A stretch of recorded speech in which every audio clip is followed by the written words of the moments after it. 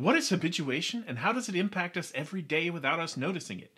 Could it actually be dangerous? Stay tuned.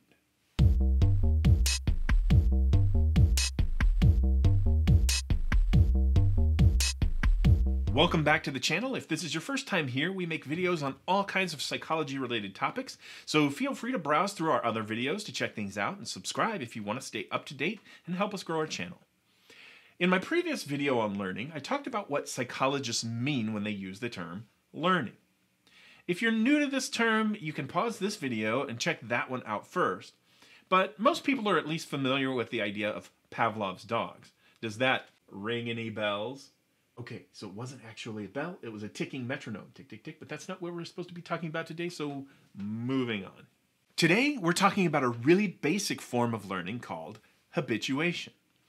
Habituation fits into a category of learning called non associative learning because it doesn't require an association between two stimuli like a sound and food. Instead, non associative learning involves learning about stimuli that are repeated. Okay, so take a moment to take in all of the sensory information around you. You can probably see the screen and the color of my shirt, or lack thereof. You can hear my voice, but what else can you hear? What else can you see? What can you smell? What object is nearest you? Can you hear the sound of an air conditioner or a refrigerator? Can you feel the feeling of the clothes against your skin? Take a moment to notice all the features of the room. Are there pictures on the wall, signs on the door? How much time and attention were you paying to these things before I started talking about them? If you're like most people, not much. Taking in too much sensory information can actually lead to overload and can cause significant distress, such as the case for many people with sensory sensitivities, like in autism. It's adaptive for your brain to build filters that filter out the information that you don't need to process. If you come home one day and there's a kazoo on your desk, it might be useful to notice that it's there. Who put it there? What does it mean? Why are we here? But once you know it's there, it no longer makes sense to pay much attention to it. After all, you've got other things to focus on. That's where habituation comes in. Habituation is a form of learning where your behavior decreases in response to repeated presentations of a stimulus. This allows your brain to be efficient and not waste precious processing power dealing with stimuli that you already know about. It's important to notice a new stimulus that might signal a change in your environment. But once you already know that information, you don't want to spend a lot of time processing that stimulus. So you learn to ignore it your response to it goes down. Let's look at some examples. So let's say your neighbor puts out a new mailbox that looks like one of the Yip Yips from uh, Sesame Street, and it catches your attention right away when you go outside. After a few weeks, you pass by it, and when you leave the house, you don't even notice that it's there anymore. When I was a kid, we had a family friend who lived in a town with a paper mill.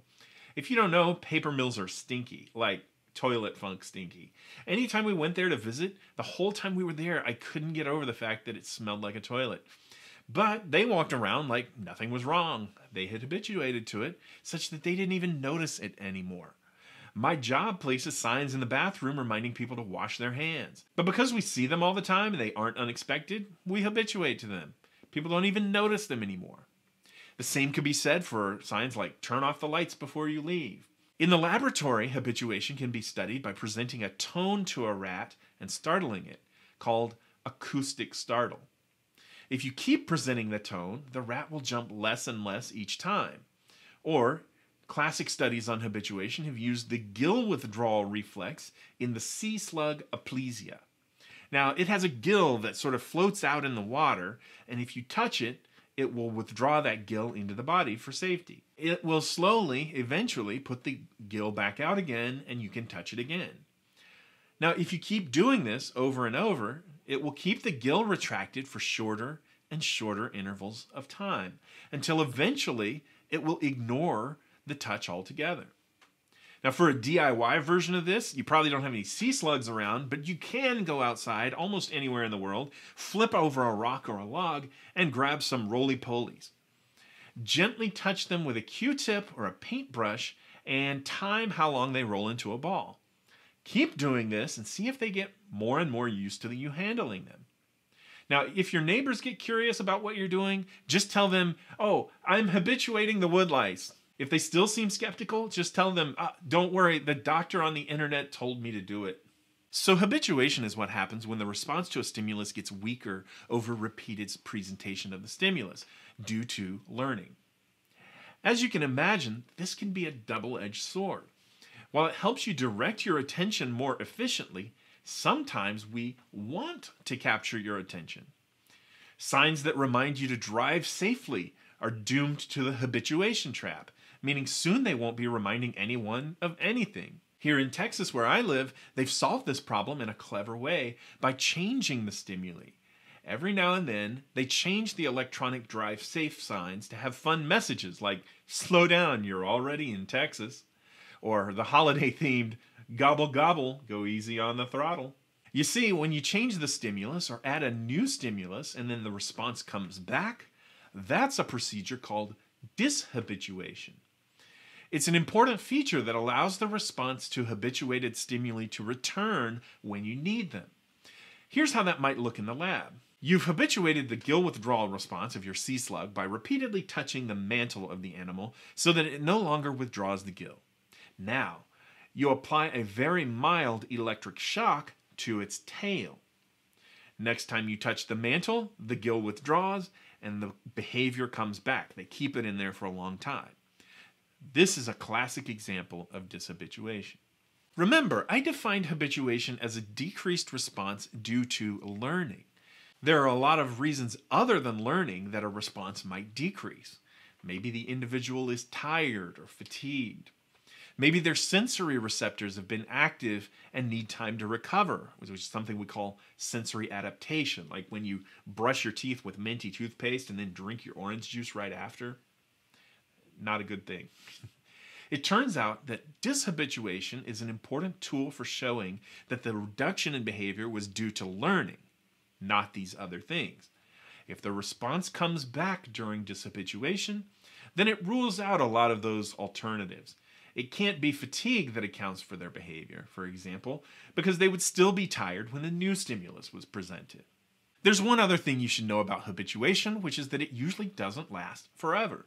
As long as the stimulus keeps repeating, it will. But if there's a long interval of time without the stimulus being presented, the next time it appears, the response might come back. So let's say you habituate a rat to stop responding to a tone on one day. The next day, if you start training them again, presenting the tone again, they may recover their startled jumping behavior. Since this recovery of behavior happens spontaneously without having to do anything but wait, we call this spontaneous recovery. Spontaneous recovery is a feature of habituation, but it pops up in other forms of learning too, when responding that has decreased comes back on its own after a while. Okay, so those are the basics of habituation. It's when a response to a stimulus decreases over repeated presentations due to learning. It can be a good thing for helping you focus attention, but it's something that will work against you if you want to maintain people's attention for long periods. In order to show that it's habituation, you have to rule out alternatives that don't involve learning, such as fatigue or sensory adaptation. Dishabituation is one way to do this by presenting a new stimulus and seeing if the response returns. The other way to get the response back is by just waiting a while without presenting the stimulus and see if you get spontaneous recovery. You've probably habituated to the little subscribe icon in the corner down there and the like button found on this video. But if you found it helpful, clickety click. Subscribe if you want to get other upcoming videos on habituation and other types of non associative learning. And until next time, keep thinking.